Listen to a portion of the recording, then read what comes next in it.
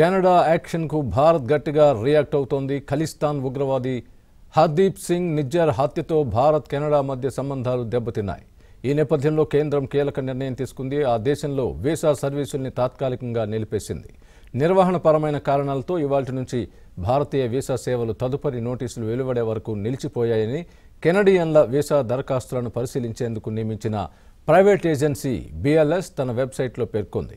ఈ విషయాన్ని భారత్ అధికారులు కూడా ధృవీకరించారు. మరోవైపు భారత్ కెనడా మధ్య సంబంధాలు దెబ్బతినడంతో కెనడాలో భారతీయులు అత్యంత అప్రమత్తంగా ఉండాలని తమ పౌరులకు భారత్ మార్గదర్శకాలు జారీ చేసింది.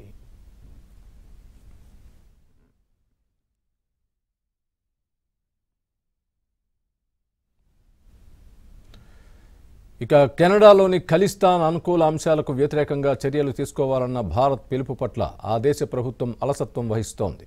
దీంతో ఇరు దేశాల మధ్య సంబంధాలు క్షీణించినట్లు తెలిసింది. దీంతో కెనడాలో భారత వ్యతిరేక కార్యకలాపాలు రాజకీయ ప్రేరేపిత ద్వేషపూరిత నేరాలు హింస పెరుగుతున్నాయని ఆందోళన వ్యక్తం చేసింది.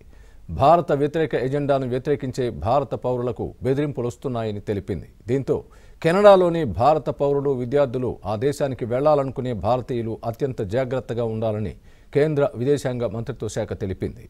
అత్యవసర పరిస్థితుల్లో కెనడాలోని భారత రాయబార కార్యాలయాన్ని సంప్రదించాలని భారత పౌరులను కోరింది.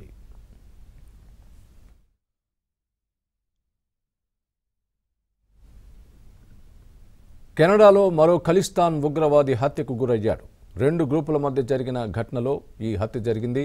చనిపోయిన వ్యక్తి ఖలిస్తానీ ఉగ్రవాది సుఖ్దూల్ సింగ్ అలియాస్ సుఖా దునేకాగా గుర్తించారు. కెనడాలోని విన్నిపెగ్ పట్టణంలో ఈ హత్య జరిగింది. అయితే దీనిపై అధికారిక ప్రకటన వెలువడాల్సి ఉంది.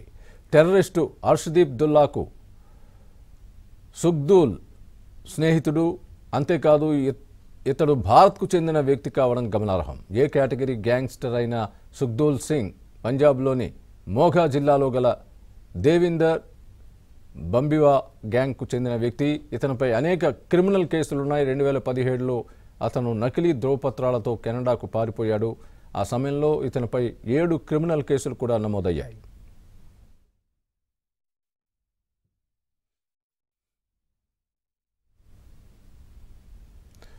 హర్దీప్ సింగ్ నిజ్జర్ హత్యలో భారత్ పాత్ర ఉందని కెనడా ప్రధాని జస్టిన్ ట్రూడో వ్యాఖ్యానించడం రెండు దేశాల మధ్య చిచ్చు రేపింది. అంతటితో ఆగని ట్రూడో కెనడాలోని భారత రాయబారిపై బహిష్కరణ వేటు వేశారు. అయితే ట్రూడో ఆరోపణలను భారత్ తీవ్రంగా ఖండించింది. కెనడాకు కౌంటర్గా భారత్ కూడా మన దేశంలోని కెనడా రాయబారిపై బహిష్కరణ వేటు వేసింది.